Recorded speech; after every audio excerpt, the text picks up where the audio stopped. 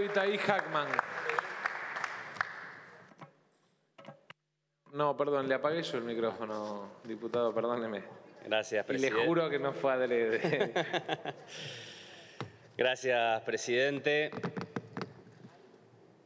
Hace un par de años y durante el día de hoy venimos escuchando a los voceros económicos de la oposición tratando de hacer todo tipo de piruetas para tapar una realidad que para mí es clara como el agua. El gobierno de Macri llevó adelante el proceso de endeudamiento externo y fuga de capitales más intenso de la historia argentina. Y remarco de endeudamiento externo porque un concepto perdido en el debate público, donde se habla de la deuda pública mezclando deudas de distinta denominación y características. La Argentina no tiene una crisis de deuda pública. La Argentina tiene una crisis de deuda externa, de deuda en dólares con acreedores externos y con el Fondo Monetario Internacional. Porque los genios de las finanzas dilapidaron en dos años todo el crédito internacional y esa es la razón por la cual hoy estamos discutiendo esto por una decisión del gobierno de Mauricio Macri de pedirle al Fondo Monetario un rescate, no para la Argentina, sino para los fondos de inversión que habían venido a timbiar y querían sacar los dólares. Quiero ser claro, no lo- los gobiernos no son todos iguales. Hay gobiernos que alientan los procesos de endeudamiento externo y fuga de capitales y gobiernos que intentan ponerle límites a la voracidad del capital financiero. Y si no ponemos límites, no tenemos futuro como país soberano. Se recordó hoy acá cómo a partir del año 2006 la Argentina recorrió un camino que, por supuesto, con aciertos, errores, pero fue un camino de autonomía.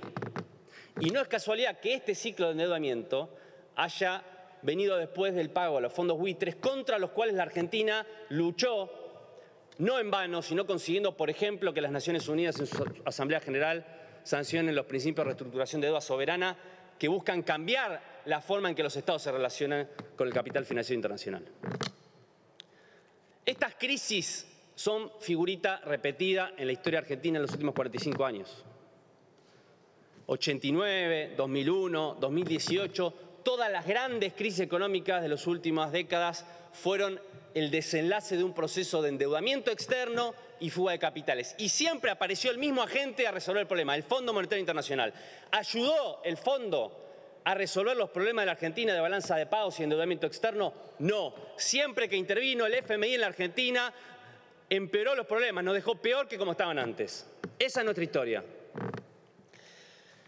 Por eso lo, que, lo más preocupante en este debate es que todo esto quede en una situación de impunidad.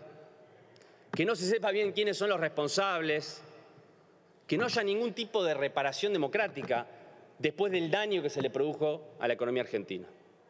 Por eso vuelvo a insistir en la necesidad de avanzar en la investigación de la fuga de capitales, determinar cuáles son los sectores económicos que se beneficiaron con las políticas de endeudamiento y que sean esos sectores en donde recaiga el esfuerzo para pagar esta deuda. Dicho todo esto, presidente, creo que obviamente es de público conocimiento que hay un conjunto de diputados y diputadas del Frente de Todos que no vamos a acompañar este, este proyecto y quiero explicar brevemente y con todo respeto mis, mis razones. Creo que este acuerdo es el resultado de una estrategia de negociación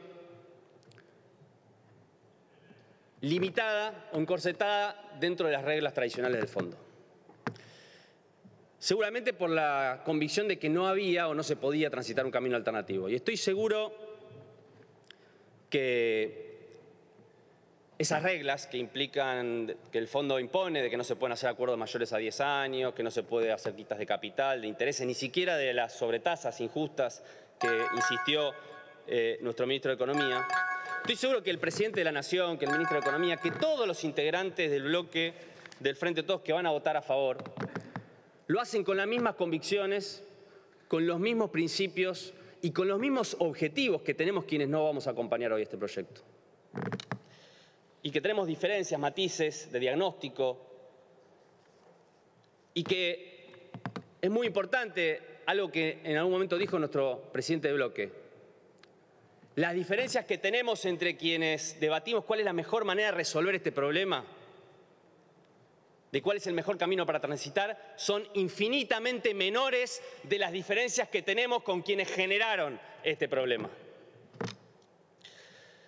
En mi convicción, este acuerdo, originalmente por 57 mil millones de dólares, que violó el convenio constitutivo del Fondo Monetario, que le implica una responsabilidad del fondo no solamente en el otorgamiento del crédito, sino también en la displicencia posterior, cuando frente al fracaso del programa siguió girando los desembolsos, esa responsabilidad hoy no está. Y el fondo nos impone sus reglas como si fueran un mandato divino que no se pueden discutir.